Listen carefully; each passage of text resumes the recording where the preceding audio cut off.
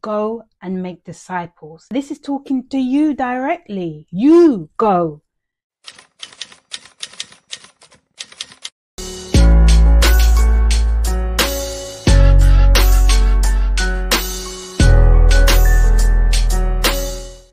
Hi, I'm Danielle, and I call myself a ministry leader because I lead out in ministry. Also, because I believe that ministry is life. I don't wait for someone to tell me what to do for God.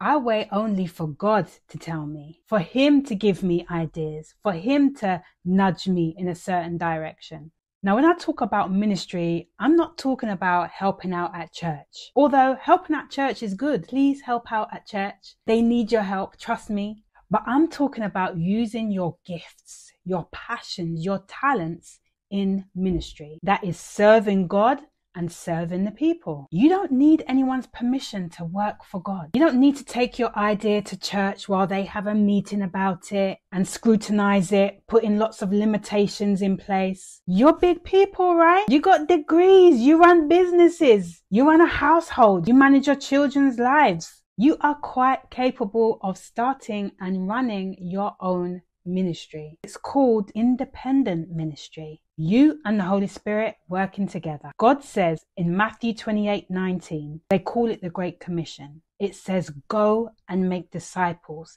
teaching them everything that I have taught you. I'm paraphrasing, but this is talking to you directly. You go. What are you doing to share the gospel? What are you doing to disciple others? How are you teaching others about the love of Christ and how to live God's ways? God has given you something very unique, a talent a gift, knowledge of something, a skill, a passion, something you're really good at, something that not everyone is good at. What is it? You can cook, you can sing, you can write. Are you excellent at hospitality? Are you a super clean freak? Maybe you're a historian, you're good at teaching, you're a good listener, or you've got the gift of the gab. You find it easy to talk to strangers. Maybe you're generous and giving. You're good with children. You relate to teenagers. Maybe you're good with your hand. You're a gardener. I mean, I could go on and on. Whatever it is, there is a way that you can use it for ministry. Mine is administration. I'm good at organizing, planning, making things happen. And then I married a creative. My husband, he writes plays, he directs, he performs poetry. So once I realized my gift, God fine tuned it to be used for him, for his kingdom. I use those skills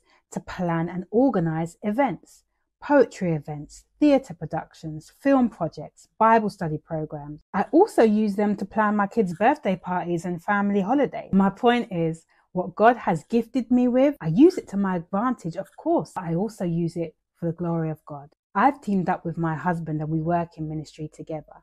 But you can team up with anyone or you can go alone, depends on what it is. If you're a Christian who talks to God and has a relationship with God, I know God has dropped some ideas in your head. I know He's prompted you to do something. So do it. What are you waiting for? There's nothing special about me other than I'm a daughter of the King, of course.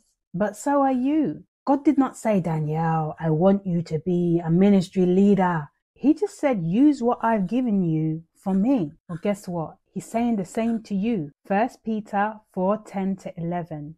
Each of you should use whatever gift you have received to serve others as faithful stewards of God's grace in its various forms. If anyone speaks, they should do so as one who speaks the very words of God. If anyone serves, they should do so with the strength God provides, so that in all things God may be praised through Jesus Christ. To him be the glory. And lastly, Romans 12, 4 to 8 says, For just as each of us has one body with many members, and these members do not all have the same function, so in Christ, we, though many, form one body, and each member belongs to all the others. We have different gifts according to the grace given to each of us. If your gift is prophesy, then prophesy in accordance with your faith. If it is serving, then serve. If it is teaching, then teach. If it is to encourage, then give encouragement. If it is giving, then give generously. If it is to lead, do it diligently. If it is to show mercy, do it cheerfully. Pray for God to show you what to do with your gift. Don't know what your gift is? Pray that God will reveal it, help you realize what it is. You were made for ministry.